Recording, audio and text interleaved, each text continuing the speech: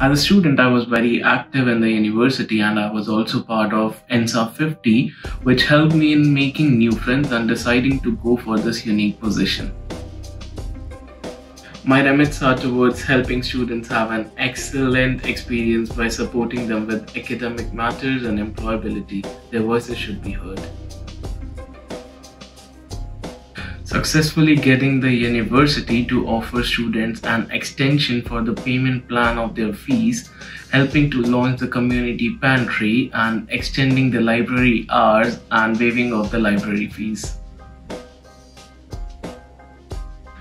There are still a lot of things that needs to be done like addressing feedback issues, the lack of affordable accommodation, raising awareness of student futures and much more. The role has everything one wants uh, from talking to students, knowing the concerns and issues to representing students in front of university leadership team and being on the board of directors of the student association.